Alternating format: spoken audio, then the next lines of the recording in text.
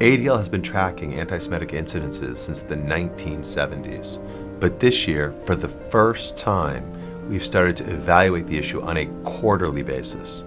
Unfortunately, we've seen a rise in anti Semitic incidences in 2017.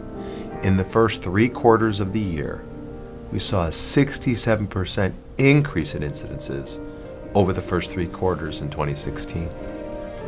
And that translates to more than double the number of incidences in K 12 schools all across the country and a 59% increase on college campuses. Those stats are very troubling. The tragedy that happened in Charlottesville this past August shook the country to our core.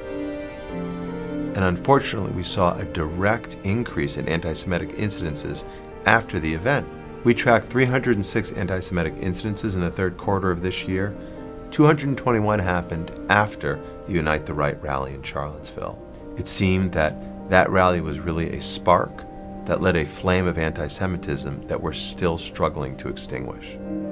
It's critical to track anti Semitic incidences so that we understand the scope and size of the problem. And we're upping our game, expanding the tools that we use and enhancing their impact so we can better assess the situation and try to address it and solve for the problem.